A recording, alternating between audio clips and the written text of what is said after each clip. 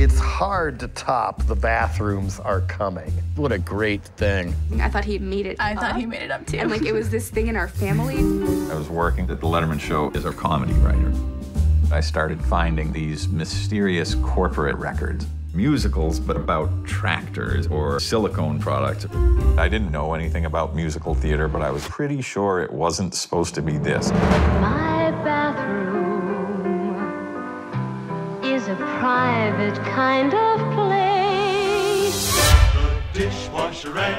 Everybody was doing these things giant companies, tiny companies. If the patient gets and bloody, found some sort of treasure trove that we weren't supposed to know about at all. Yes, sir. Everything's coming out, it go. I had no hobbies. I barely had any friends outside the show. Hello. Well, hi, Steve. Hello, Sheldon. welcome to Casa Mia. But I knew I've got to have as much of this as I can find. Oh, my God. These are people who have changed American culture. It was a dream job. And there were a lot of them. It was almost like having a door open to a secret society. The general public had no knowledge of what was going on unless you were at one of these sales meetings.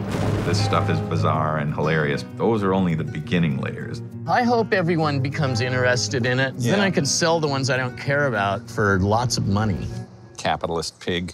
well, I learned that by listening to these records. I really got motivated to, to sell, sell, sell. I think it has an unexpected importance that I would never have noticed when I was holding up the records on the show. It illuminates an American business world that doesn't exist at all anymore. There's something about a show, if it's not being heard, then it's really gone. I feel a kinship with so many of these people. It's gone further than I've imagined.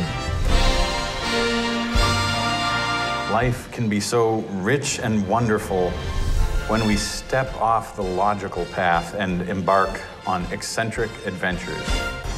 It'll change.